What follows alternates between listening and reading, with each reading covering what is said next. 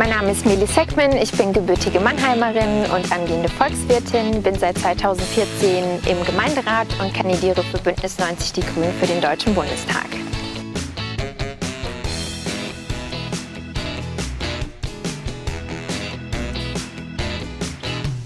Ich bin Isabel Kadematuri, ich bin 33 Jahre alt, Wirtschaftspädagogin und kandidiere für die SPD.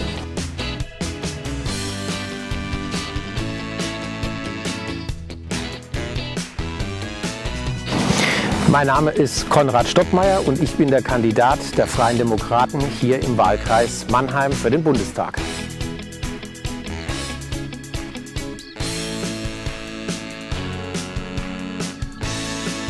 Mein Name ist Roland Hörder, ich bin der Kandidat der CDU für den Wahlkreis Mannheim.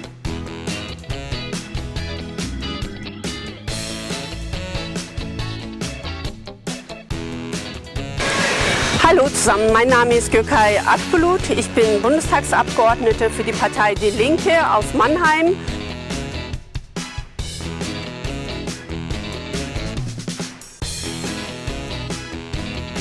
Ja, hallo, mein Name ist Jörg Fingler. Ich bin der Direktkandidat der AfD in Mannheim.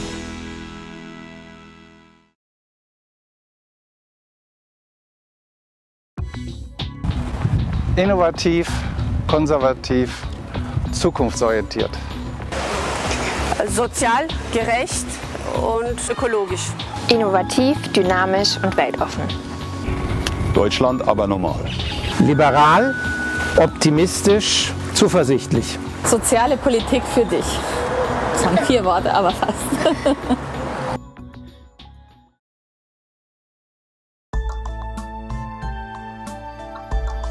Dass sie nach außen nicht so sympathisch rüberkommt, wie ich sie von innen erlebe. Nun, da gibt es viele ähm, Schwächen, die unsere Partei hat. Das ist nicht nur eine. Ich glaube, die größte Schwäche, Mir fällt keine ein. ähm, Sie hat keine Schwächen. Ich denke, dass wir gerade einen sehr hohen Anspruch an uns, äh, an uns selbst auch haben. aktuell ist, dass wir es nicht schaffen, die vielen sozialen Fortschritte, die wir durchgesetzt haben, auch in einem größeren Zusammenhang zu bringen und allen Menschen gut zu erklären, wieso das wichtig ist. Das Image unserer Partei extrem angekratzt ist. Das heißt, die Marke AfD ist, die ist ramponiert mittlerweile. Und ähm, dass wir gerade in einem Entwicklungsprozess sind. Und da verliert sich manchmal in kleinen Maßnahmen und man sieht nicht so den Zusammenhang, wieso man das macht. Und Auch beim Normalbürger, will ich jetzt mal sagen, der sich jetzt vielleicht gar nicht mit dem Inhalt auseinandersetzen möchte, sondern der hört einfach nur AfD und dann hat er schon ein entsprechendes Bild davon. dazu gehört es natürlich auch, dass wir uns personell vielfältiger äh, aufstellen. haben wir auch das Problem, dass wir innerhalb unserer Mitglieder zu wenig Frauen haben. Das ist für mich auch als Feministin sehr, sehr wichtig, dass äh, wir auch, auch in der Mitgliedschaft den Anteil von Frauen erhöhen in allen Gremien der Partei. Wir sind auf einem guten Weg, aber Da müssen wir noch besser werden.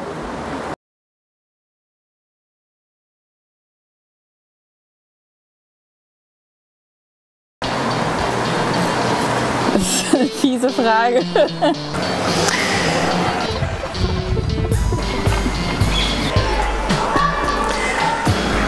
Ich als freier Demokrat ich glaube, da fällt mir echt schwer, in der Tat mich auf eine Partei festzulegen. Ähm, Ähm, also ich arbeite auch sehr gut mit der Linken in Mannheim zusammen. die AfD und die Linkspartei äh, auszuschließen. Und da ich euch selber eine selbstständige Entscheidung ohne weiteres zutraue, überlasse ich euch den Rest. Jeden Fall eine konservative Partei, weil ich von Haus aus eine konservative Einstellung habe. Die sagen, die CDU und die FDP stehen uns halt eben am nächsten. Ich glaube, es gibt eine große Schnittmenge zwischen den Grünen und der SPD. Das wären die Alternativen, die ich vorschlagen würde. Ja, eigentlich gibt es da keine äh, richtige äh, Alternative. Das hängt natürlich äh, auch mit ihrer jeweiligen Situation, mit ihrem Wohlfühlstand zusammen und machen sich über die anderen gar nicht so große Gedanken. ich würde mir wünschen, dass sich äh, die Jugendlichen und auch alle anderen Menschen sich die Programme genau durchlesen und schauen, wer es auch wirklich ernst meint und welche konkreten Maßnahmen die Parteien in ihrem Programm auch drinstehen haben.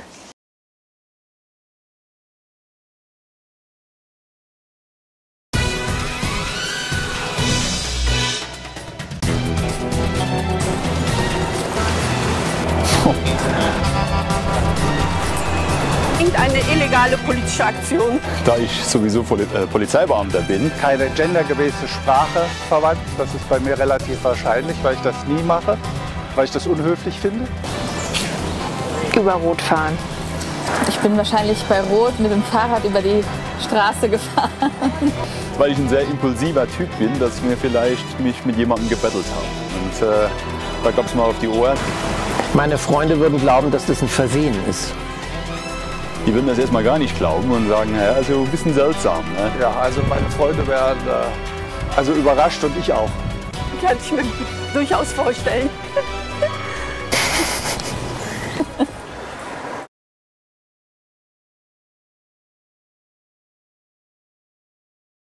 Süß. Ähm, Ja, so, jetzt habt ihr mich ja. Das haben sie mich auf den falschen Fuß erwischt. Der erste Deutsche Bundestag wurde 1900. 49. Ja. 48? 45, 46? So 1956 vielleicht gewesen sein. 49 gewählt. Ich meine, im Herbst sei das gewesen, aber ich bin da jetzt nicht sicher. Es ist 49. Ja, also vielleicht im Juni oder Juli. Ja. Später, stimmt, ja. Doch schon 49. Okay. Ja, also Herbst. Na, fast, aber nah dran.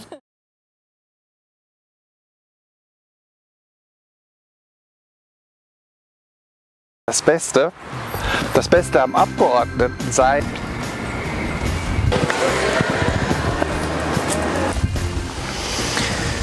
Sich mit unterschiedlichen Themen Man auseinanderzusetzen. kann einfach viele Menschen, die gute Ideen haben, dabei unterstützen, diese auch umzusetzen. Und unsere Zukunft. Ähm, Ähm, weil ich einfach andere Menschen unterstützen will, Also das Beste, ist, dass man kein Befehlsempfänger ist Dass man nicht einfach nur sein eigenes Ding machen kann, in der Regel, sondern dass man äh, nach seinem Willen frei entscheiden kann. sondern dass die Demokratie nur funktioniert, wenn man mit Wählerinnen und Wählern die Gespräche mit den unterschiedlichen Menschen, man kommt in einem ganz engen äh, Kontakt ist. und ähm, man bekommt dadurch einen viel breiteren Horizont. Das kann den eigenen Horizont unglaublich erweitern. wenn ich es nochmal zu entscheiden hätte, würde ich es nicht mehr tun. Und ähm, das ist etwas, was mich heute immer noch sehr bewegt. Das ist eine, ein Privileg. Und damit man nicht nur das auf dem Radar hat, was einen selber umtreibt. Alle anderen sind abhängig. Natürlich ist der Politiker auch abhängig. Er ist ja auch darauf angewiesen, dass er die Menschen, die ihn gewählt haben, auch vertritt. Das heißt, die gehen immer auf die Ohren. Wenn sie was Gutes gemacht haben, dann sagt man, das muss so sein. Und wenn sie was Schlechtes gemacht haben, gibt's. Und das finde ich ist ein sehr schöner Beruf oder eine Berufung. Das ist, ähm, ich will es ja erstmal keinen Beruf nennen. Ich bin ja kein Berufspolitiker. Ich bin ja ein, ein Hobbypolitiker, will ich es mal so nennen. dabei das Beste für sich und für Mannheim zu erreichen. Das ist wichtig.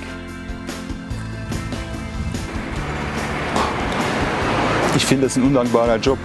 Und das macht äh, richtig Spaß. wenn ich am 27. September nach Berlin fahren kann. ja, sehr, sehr zum einen faszinierend, aber mir auch immer wieder neue Impulse gibt für meine politische Arbeit.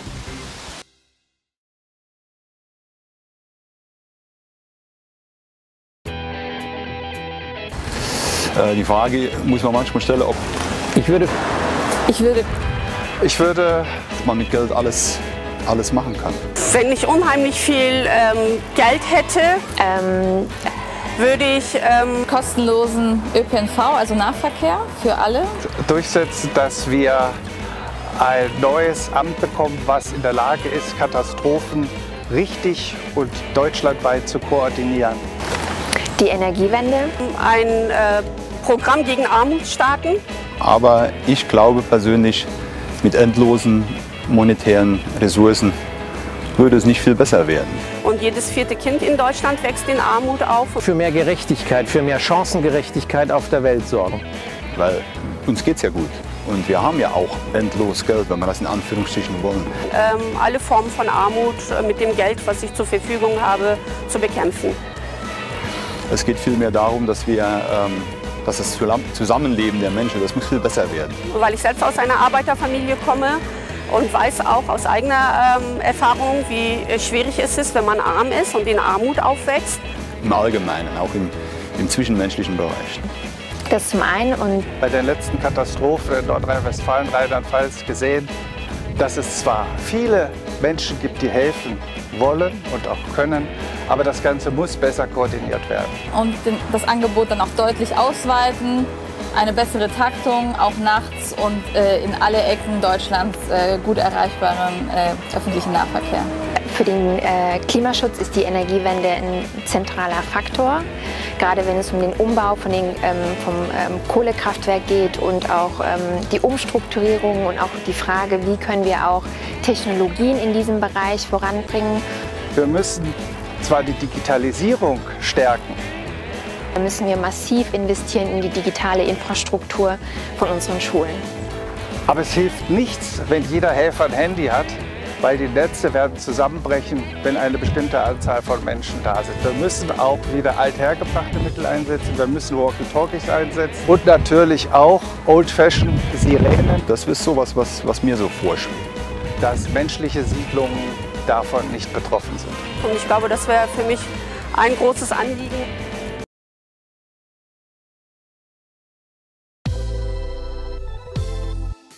Also ich habe ja am äh, Tag der Wahl auch meinen Geburtstag. Ich werde natürlich mit meinem Team, mit meinem Wahlkampfteam, Mit meinen vielen Wahlkampfhelferinnen und Helfern Mit äh, unseren ganzen Parteimitgliedern und Unterstützern. Das heißt, ich werde neben meinem Team und vielen Parteifreundinnen Ich würde mit meinem Team feiern. es sind sehr viele junge Leute der SPD bei den Jusos. Da sind ganz verschiedene Leute von den Freien Demokraten in Mannheim dabei. Also natürlich mit meiner Familie und und meine Familie, auch Freunde aus dem Privaten äh, einladen. Wo würde ich hingehen? Auf jeden Fall nach Mannheim, das ist ganz klar. Ähm, da gibt es ja einige Möglichkeiten in Mannheim. Und ich würde zu einem bestimmten Gastronom in der Mannheimer Innenstadt gehen. Und ich werde an einer Location am Neckar äh, feiern. Auf dem Schiff, auf dem Neckar, würde ich gerne eine Schiffsparty feiern. Ja. Und ich würde wahrscheinlich mich nicht irgendwo festlegen, sondern ich würde durch die Kneipen ziehen. Das wird so im Jungbusch wird es wahrscheinlich enden irgendwo im Rodos oder so. Und den würde ich mit dieser Feier auch ein bisschen unterstützen wollen. Und wo ich feiern würde, das weiß ich doch nicht. Das Aufgrund der Corona-Situation werden sehen, wie Corona bis dahin ist und ob man feiern kann. Das ist in der heutigen Zeit äh, auch schwierig zu sagen. Also das möchte ich mal offen lassen, aber es wird auf jeden Fall gefeiert. Ich denke, eins der Cafés und Bars hier, Parklets, äh, kann man dann auch draußen äh, feiern. Auch wenn ich verliere, werde ich feiern. Da werden wir auf jeden Fall es richtig krachen lassen.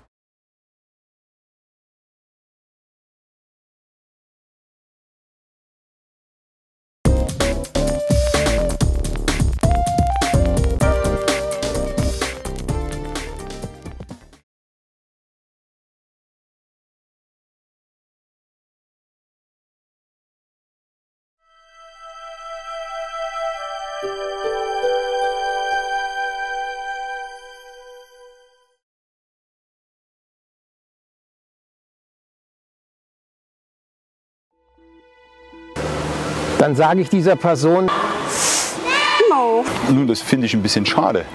Ähm, ich würde das Gespräch suchen. Da habe ich wenig Verständnis dafür. Also wenn ich jetzt sagen würde, äh, das enttäuscht mich, dann wäre das zu tief in der Gefühlswelt drin. damit stärkst du diejenigen, die garantiert was anderes wollen als du. Denn die gehen in der Regel sehr häufig zur Wahl. Und ich würde der Person sagen, mach's dir nicht so schwer. äh, finde ich es wichtig, zumindest bei den Wahlen äh, wählen zu gehen und sich die Zeit dafür zu nehmen. Deswegen würde ich sagen, das ist eine Bürgerpflicht und äh, der muss sich jeder auch stellen. Und äh, würde die Person fragen, warum er oder sie nicht wählen geht. Und äh, es gibt eigentlich keinen guten Grund, nicht sich an diesen Veränderungen zu beteiligen. Auch wenn man jetzt vielleicht mit der, mit der Politik jetzt nicht so viel anfangen kann. Auch wenn man frustriert ist oder aus anderen Gründen ähm, die Politik ähm, abgehakt hat.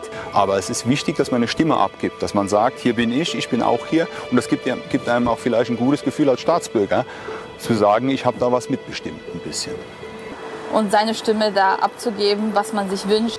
Eine Wahlentscheidung muss auch kein Glaubensbekenntnis sein. Und ähm, würde ihm nochmal oder ihr nochmal erklären, warum es total wichtig ist, gerade in diesem, bei dieser Bundestagswahl zu wählen.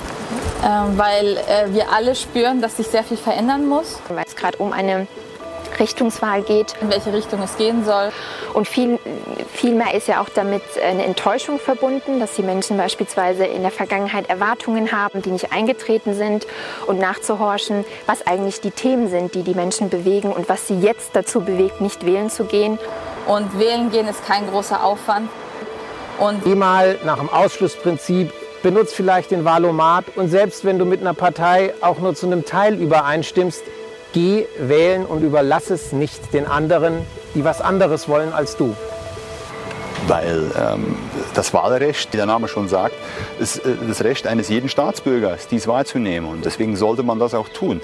Wenn wir uns anschauen, was in unseren Nachbarländern passiert. Es gibt sehr viele Länder auf dieser Welt, in denen die Demokratie nicht so weit entwickelt ist wie bei uns hier in Deutschland. Oder ein Staat weiter, wo die Leute auf die Straße gehen und für ihr Wahlrecht kämpfen, die ihr Leben einsetzen, dass sie wählen dürfen. Und wir schnipsen das so weg und sagen, oh, das sind ja ohnehin alles solche oder solche. Dann halte ich das für unverantwortlich. Unsere Großväter sind dafür auf die Straße gegangen. Egal ob Männlein oder Weiblein, dass es ein allgemeines, gerechtes Wahlsystem gibt, wo jede Stimme gleich viel wert ist. Und wir müssen aufpassen, dass dieses Recht äh, nicht mit Füßen getreten wird, denn nur wenn alle wählen, setzen sich die Parlamente auch so zusammen, wie es dem Willen des Volkes entspricht.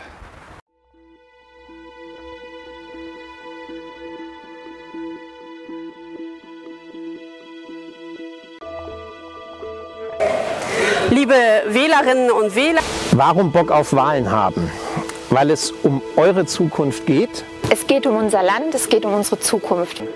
Vertreten Sie Ihre Rechte äh, am politischen Leben teilhaben. Wir haben keine Zeit zu verlieren und deswegen muss jeder und jede seine Stimme hörbar machen und zur Wahl gehen. Ein bisschen mehr äh, über die Dinge nachdenken. Wirklich eine Richtungsentscheidung. Den Klimaschutz, die Transformation der, der Industrie und auch soziale Fragen.